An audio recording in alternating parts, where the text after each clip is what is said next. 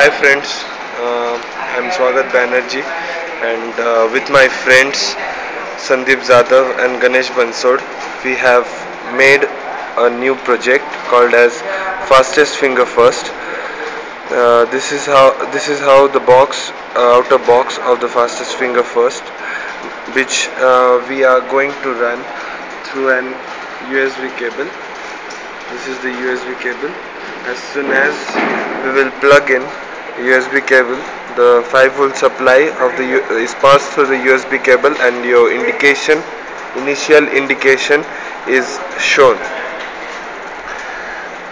First of all to explain you about fastest finger first it is just uh, taking consideration of any quiz competition where you have to where there are four groups or four contestants and uh, the best contest or the fastest who press the switch fast his uh, indication is to be displayed. So for that case uh, this circuit is being designed. Now I will take you through the circuit.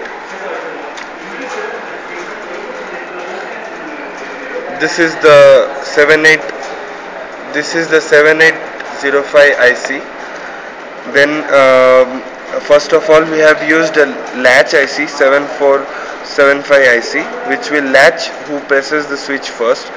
And then we have used a NAND gate in order to disable the IC uh, so that only the first one who presses the IC uh, presses the switch uh, his indication should be displayed and the other one it should not be displayed.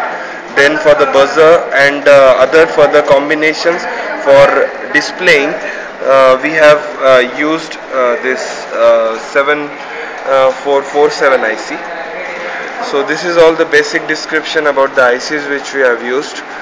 Now um, let's ask a question. Um, we both are playing a quiz competition and the question asked to us is which medal uh, did Gagan Narang win in Olympics? My friend has answered it first. So his indication is shown here now that is with the help of the buzzer which we have placed here. The buzzer is being running. Now I will reset it. This is with the main controller who is conducting the quiz. As soon as he press he will press the reset button. Zero will be uh, indicated again on the board.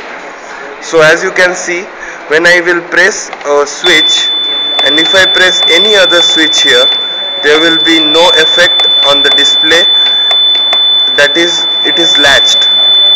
So this is the basic working principle of our project. I hope you will like it and please subscribe it. Thank you